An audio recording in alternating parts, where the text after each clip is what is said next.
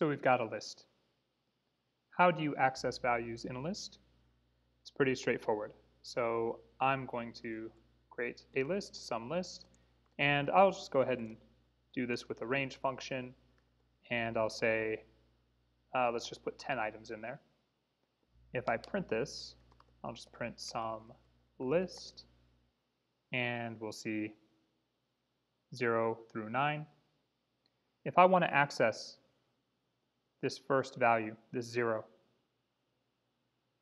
I'm going to access it with index 0. So what I'm seeing, what we're seeing there is the value at index 0. Maybe to clear this up a little bit, let's do the range from 5 to 10. So this will give us 5, 6, 7, 8, 9.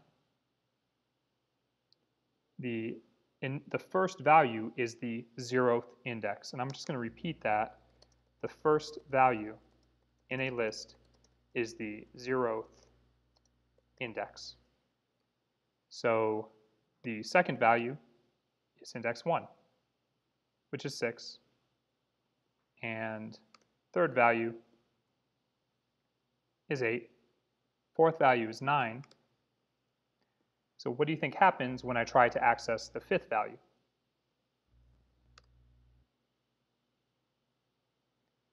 If I try to access the fifth value,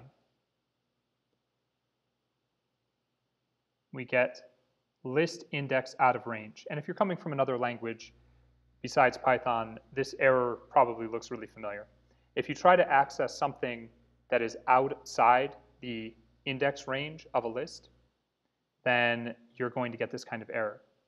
So let's also print the length of the list. And that's something that we can sort of count on, right? We can count on there being some length to a list. And if the list gets larger, the length is going to grow. If the list gets smaller, the length is going to shrink. And we can kind of say that a list is always going to be, uh, the last element in a list is always going to be accessible at length minus 1.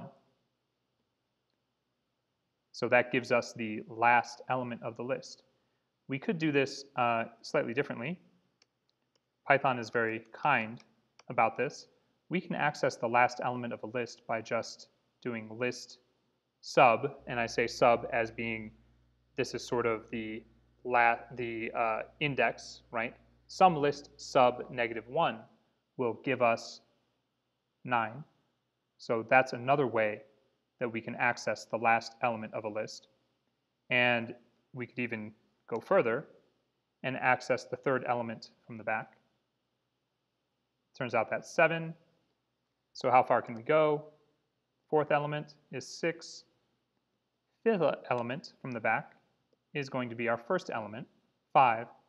What happens if we try to look at the sixth element from the end? Again, we get this list index out of range.